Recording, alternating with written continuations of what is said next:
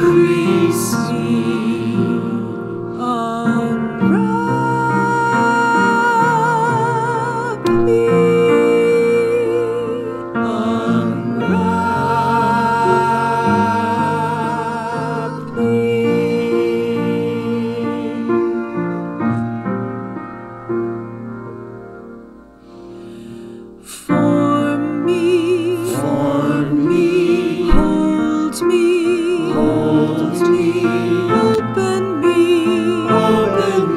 Unfold me, unfold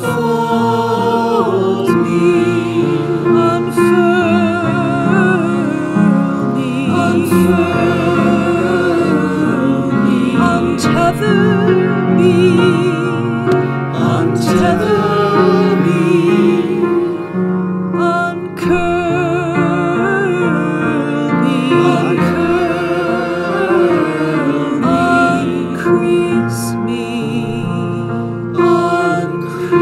see.